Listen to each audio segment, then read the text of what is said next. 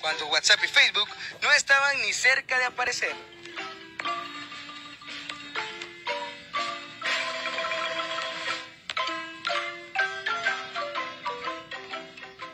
Él es Ricardo Murgas, un salvadoreño que durante años mantiene viva una tradición muy especial.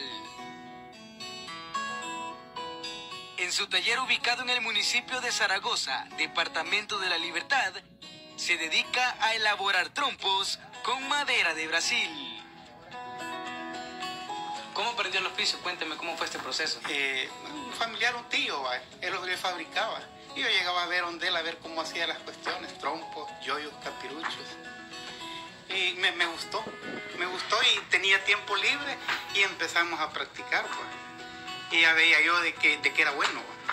Y empecé a tal vez a ahorrar un poquito para comprar máquinas y poder trabajar. Él recuerda los sacrificios y los obstáculos que superó. Lo poquito que uno logra conseguir para trabajar así cuesta.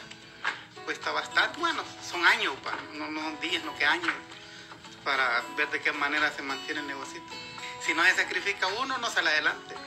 Ah, porque cuesta. va. Es un proceso largo y complicado. Lo primero es cortar la madera con esta sierra y sacar las medidas correctas.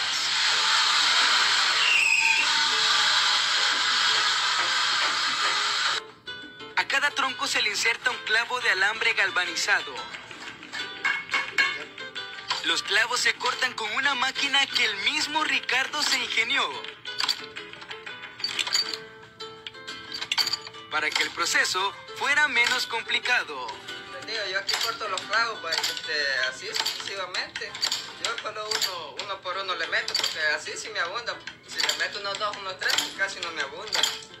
¿Y este ingenio del jefe? Sí, este es ingenio del jefe, él, él lo este, hizo, pues entonces por eso aquí se cortan los clavos, ¿no? Que antes este, se cortaban los clavos con un este, cincel y las máganas. Ajá, gracias a esto es más, más ligero, no, no cuesta mucho, papá. Mire, ve. Y para ver. Así es como se corta el clavito, ¿eh? Aquí está el clavo. Las herramientas listas y sobre todo las manos de estos artesanos hacen que el paso por el torno parezca simple. Sin embargo, es un trabajo admirable.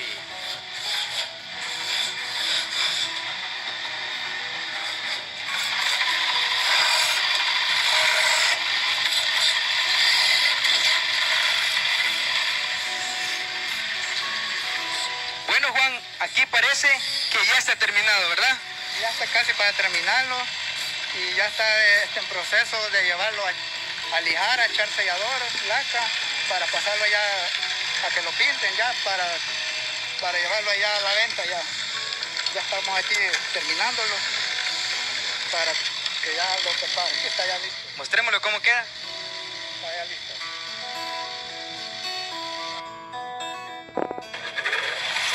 alijar un poco para finalizar con el sellado.